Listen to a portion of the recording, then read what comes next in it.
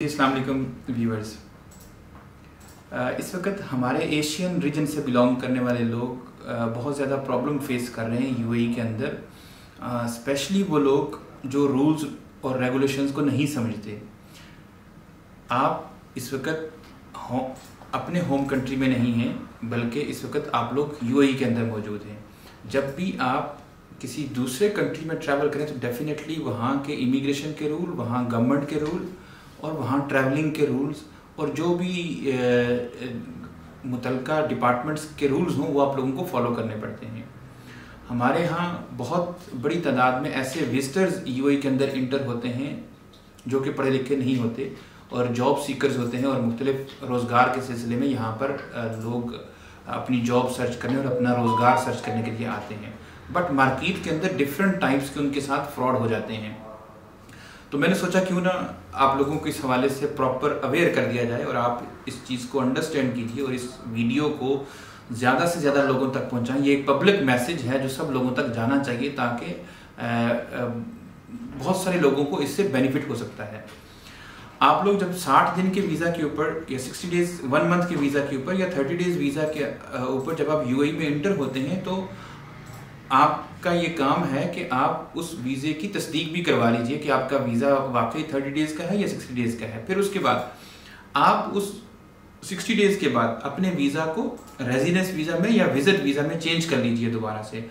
और कोई भी शख्स, कोई भी कंपनी अगर आपको इस तरफ़ लेकर चले या आपको ये बताए कि आप ओवरस्टे हो जाए, हम आपका फाइन पे कर देंगे।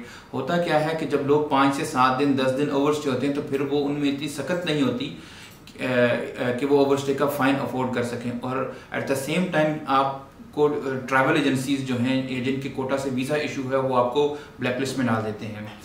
फिर रेजिडेंस वीज़ा के अंदर भी हमारे लोग इस चीज़ को नहीं अंडरस्टैंड करते कई लोग नहीं अंडरस्टैंड करते कि कई लोग इनिशियली जो लेबर कार्ड है टू इयर्स का रेजिडेंस वीज़े का जो लेबर कार्ड है स्पेशली मैं फ्रीलांस वीज़ाज की बात करता हूँ कि बहुत सारी कंपनियाँ फ्रीलांस वीज़ाज का अपना बिज़नेस खोल के बैठी हुई हैं और वो लोगों को एक एक बताका और एक कार्ड दे देती हैं कि आपका वीज़ा प्रोसेस हो गया और हमारे लोग उसी कार्ड को वीज़ा समझ के बैठ जाते हैं या समझते हैं कि हम फाइन से बच गए हैं।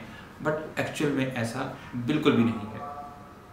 आपको प्रॉपर वीज़ा की कॉपी लेनी है। वीज़ा की कॉपी से बढ़कर आपको आगे चल के अपने चेंज स्टेटस की कॉपी लेनी है।